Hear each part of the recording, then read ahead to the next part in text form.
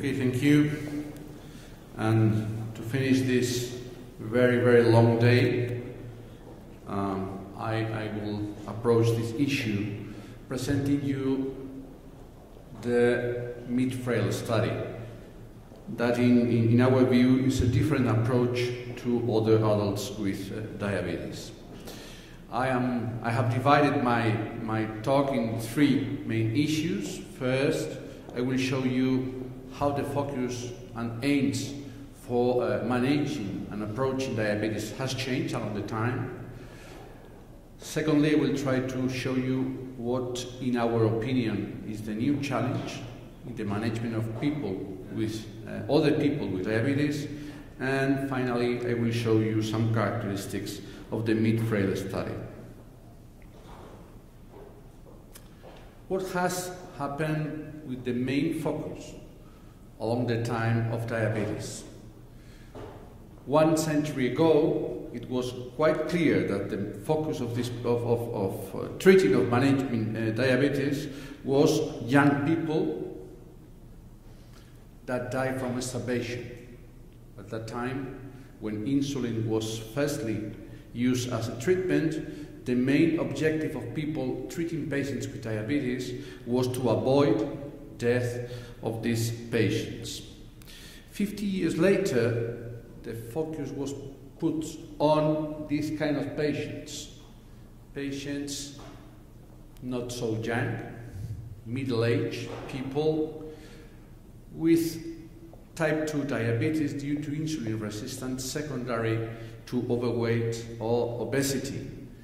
The issue in these patients was to avoid death mainly from cardiovascular diseases. But now we are in 2015. And the main patient suffering from diabetes are older people and mainly older, frail people. You know that 50% of all people with diabetes are older than 65 and around 20-30% are frail. So after many years treating to prolong life, and we were very successful in doing so. You can see here how the pyramids of the population have changed since the beginning of past century to this is the forecasting for 2050 in Spain. But this tale has finished. It's not forecasted that in the next years the life expectancy will increase more than four, five, six years. So the life expectancy is not continue increasing. We have reached our limit. So in our view, the problem now is not to increasing life expectancy, but improving the quality of the life that we are going to live. That means increase the time of free of disability life expectancy. And this means to increase the quality of our lives. And because of that, when we approach the management of chronic diseases like diabetes, we should think not in avoiding death, but in avoiding disability.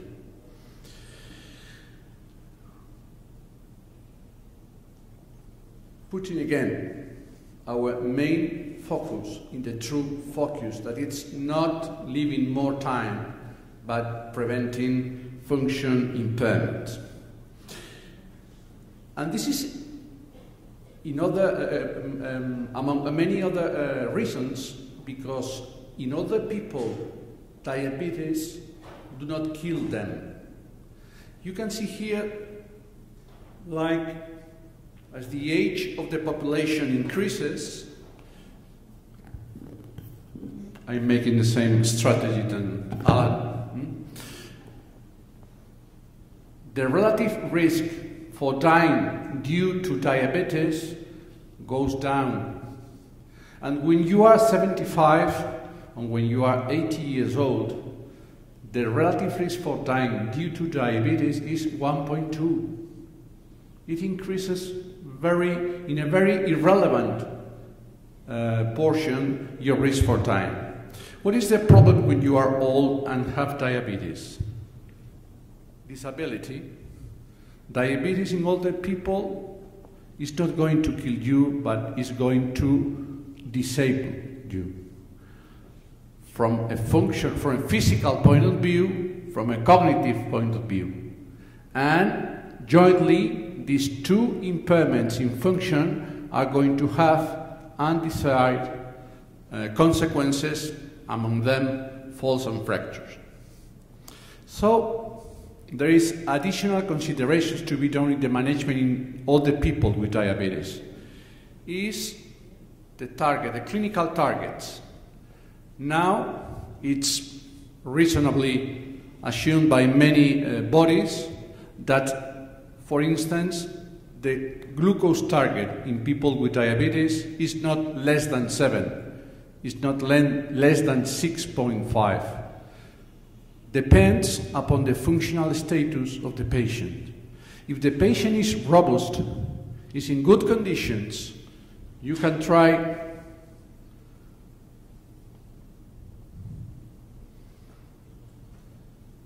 Seven point five or less, but if he or she is frail or highly disabled, targets around 8, 8.5 are rather enough. So function is the conditioning for deciding how to manage glucose targets. And this is the same also for blood pressure, for cholesterol, for uh, uh, anti-aggregation therapy. And all of these concepts has been uh, together in this uh, review that has been referenced by Alan in, in, in his talk. I think that one of the main, uh, the main concepts that try to uh, express this review is that this is the main part on the, uh, uh for, appropriate management for the people with diabetes.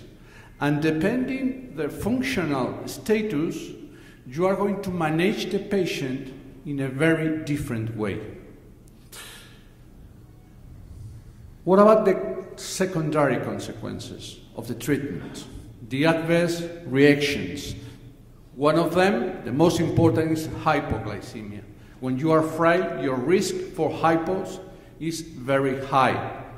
It's not the same the risk when you, know, you are not frail than when you are frail. And so it's very important to fit the management of the patients to the functional conditions. And this is the group probably um, uh, raising more problems in, in, in, the, in the management of the disease. So, for approaching some of these, uh, of these challenges, I'm trying to put frailty in the clinical scenario some uh, questions raised that should be uh, uh, approached properly. These are a summary of some of them. There are now no large-scale intervention in older people focused on functional outcomes, assessing glucose and, and blood pressure targets fitted to this functional status, no large-scale intervention assessing nutritional and educational intervention fitted to the functional condition, no large-scale intervention assessing physical exercise programs, no large-scale intervention assessing multimodal treatment combining exercise, educational, nutritional, and clinical management of the patients according to the functional status. And as a summary, we can say that there are no longer-term studies in frail older subjects. Remember that we have said that older people represents 50% of all people with diabetes, and among them, 20-25% uh, are frail. Trying to uh, cover some of these uh, lacks of knowledge, we have designed the study Mid-Frail. Mid-Frail tried to assess if intervening on these two steps, two stages of the pathway from robustness to disability is useful for patients. We have made a multimodal intervention fitting glycemic and blood pressure targets for these frail populations, an exercise program fitted to them, mainly based on strength exercise, and also a, nut a, a nutritional, not a nutritional, an educational intervention based on two main points. First, educate for nutrition and educate for detecting and avoiding hypos. I am the leader of the, of the project. That's me uh, leading a car some years ago with the uh, scientific direction or coordination of Professor Alan Sinclair. Here are some of the members of the research team that is composed by 17 research groups along several countries in Europe. These are the main objective of the study. It's not to avoiding retinopathy or microalbuminuria or incident Uh, myocardial infarction. The main objective of the study is to evaluate the effectiveness of a multimodal intervention in terms of function and quality of life. This is the purpose of the study. The endpoints to measure this will be changes in SPPB and also changes in quality of life. But we are also facing other secondary endpoints. And I think that probably the most important in these secondary uh, endpoints are an economic analysis and economic costs and healthcare expenditure due to diabetes and its impact on disability. You know that what is really expensive in older people is not their ages, but their functional status. There are many works showing that and, uh, people older than 70 years with disability costs four times that people with the same age but without disability. So what is really costly is not to be old but to be disabled. And I think this is a very important message for our health and politic uh, authorities because they used to think that what is expensive is to be aged, not to be disabled. Here is the general uh, structure of the study that is going to be uh, composed with, by uh, 1,704 patients. Now we have recruited around 600 in seven European countries with a mean follow-up of two years. This is the study uh, design, an overview. This is, uh, is done by cluster. You know that blinding this kind of intervention is impossible, so we decided to make a, a cluster uh, design, randomized, and also we have some sub-studies to assess mainly the effect of metabolome as a prognostic factor, genome, and some of our studies trying to identify more precisely the components of the exercise of the power uh, to uh, predict responses to treatment. These are the inclusion criteria, very simple. When you design study for all the people, the criteria must be very simple. Is to be old, to have diabetes, and to be frail. Quite simple exclusion criteria are also very simple, mainly to have the outcomes in the baseline, mainly. Hmm?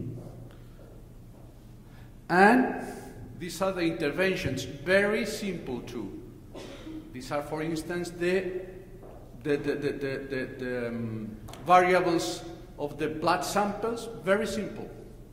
Nothing sophisticated, nothing complicated, because we are not interested in any of these um, biomarkers except as predictor. This is the nutritional and, education, an educational intervention, and this is the exercise program. It's a very simple exercise program with these machines, mainly a leg press, to work on these muscle groups. With 32 sessions per year, twice session per week, around 30 minutes each, with a progressive strength and intensity from 40% until 80% as a maximum. We are never going to reach uh, intensities higher than 80% because we are treating all the patients. This for an adult uh, for adult people it will be very low, but for an older people it should be uh, uh, rather enough. This is the timing of the study, along two years. The exercise program takes 16 weeks, then stop and restart at the beginning of the second year during other 16 weeks. This is, uh, these uh, are going to allow us to show if there is a deconditioning after finishing the exercise program. And also an uh, economic analysis. We know now that the expected economic impact of our study may save 3,000 million of euros per year in the European Union if our, if our um, proposals are, are, are right. And for doing so, we have made a very sophisticated way of capturing the different components of economic cost of this kind of interventions. So, finishing, I would like to say you that disability is the main risk factor impairing the quality of life in older adults with diabetes Fortunately, many other people develop frailty previous to develop disability.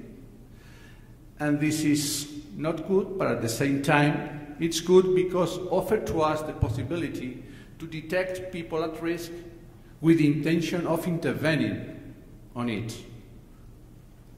And MID-FRAIL in this effort represents a true milestone as the first big research clinical trial focused on the prevention of disability in people at a high risk, like are the older adults with diabetes mellitus. I suppose that in two, three years, we will be uh, able to show you the first strong and big results of this exciting study that I suppose uh, will be able to answer some of the basic questions for the proper management of other people with diabetes mellitus. Thank you.